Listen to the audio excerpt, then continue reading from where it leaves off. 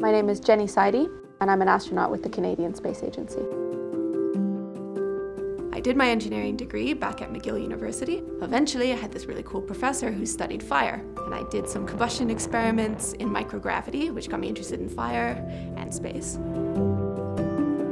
When I was growing up, Roberta Bondar was really important to me. She was this amazing role model as Canada's first female astronaut, inspiring me to pursue a career in science. I was really fortunate with, with my mom. Even though she's not from a scientific background, she did everything that, that she could to encourage me to look at science subjects and keep exploring.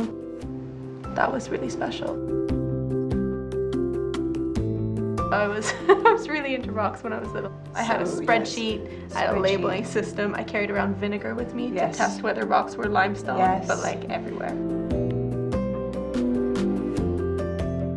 Was like, I'm gonna go collect rocks on Mars. So I held the rocks and we collected, right? Yeah. We collected rocks. That was so wonderful. So just anything to kind of encourage that. And I think I benefited from that enormously. So it wasn't just the role model, but it was also this encouragement I had at home from my mom.